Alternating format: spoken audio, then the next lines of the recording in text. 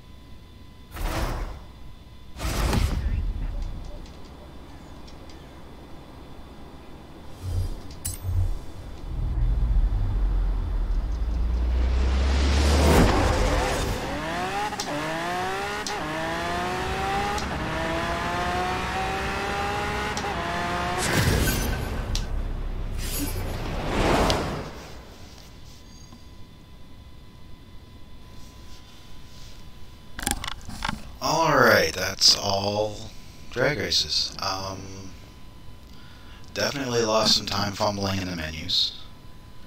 Definitely lost some time fumbling with my timer and the microphone, but my setup isn't really ideal. My character is appropriately dressed for winter, as you can tell. Um, probably upload the uh, no fast travel first, since I did that one first, and then this one. I know for a fact it's a good 12 hours to upload, so that's gonna be a while. But that's that.